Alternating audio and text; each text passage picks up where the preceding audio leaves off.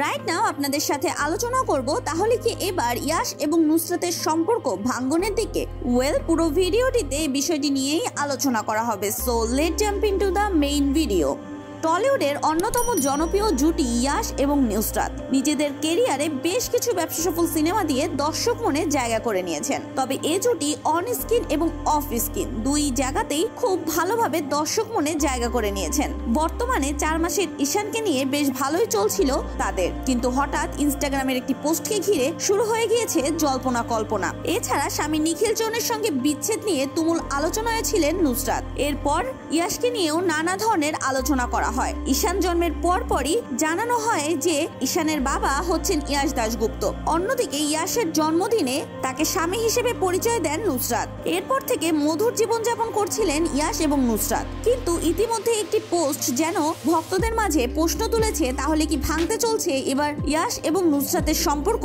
আর এই সন্দেহ দানা বেঁধেছে একটি পোস্টের মাধ্যমেই। শুক্রবার ইনস্টাগ্রামে দুইটি স্টোরি পোস্ট করেছেন নুসরাত। একটিতে ছেলে ঈশান প্রাম বুলেটরে শীত সকালের ঘোরাঘুরির মজা নিচ্ছেন। আর পোস্টের ক্যাপশনে লিখেছেন, যে ঘরে শান্তি নেই, সেই ঘর দুনিয়ার সবচেয়ে খারাপ জেলখানা। যে কোনো মানুষের জন্যই সবচেয়ে ভালো জেলখানা সেখানেই যেখানে ভালোবাসা আছে। কেউ সেই ঘর ছাড়তে চায় না। নুসরতের এই পোস্টের কিছুক্ষণ পরপরই পাল্টা পোস্ট করেছেন ইয়াশ কোন জেলখানায় বন্দি হয়ে থাকছো? খাঁচার দরজা তো খোলাই আছে। এরপর থেকে অনুরাগীদের মধ্যে তৈরি হয়েছে নানা ধরনের জল্পনা কল্পনা। অনেকেই ভাবছেন দুজনের মধ্যে আবারও কোনো বড় ধরনের ঝামেলা বেঁধেছে। অ্যাট দ্য টাইম বাস্তব জীবনে যাই হোক না কেন, শিলাদিত্য মল্লিকের মাস্টার মশাই আপনি কিছু দেখেননি সিনেমায়, দেখা যাবে নুসরাত এবং ইয়াশকে। সো ভিউয়ার্স জেনে তো নিলেন আবারও কি সংসার ভাঙতে চলছে ইয়াশ এবং নুসরাতের। এই বিষয়টি নিয়ে যদি আপনার কোনো মতামত থাকে, তাহলে অবশ্যই আমাদের কমেন্ট বক্সে জানাতে ভুলবেন না। And please subscribe our channel for more updates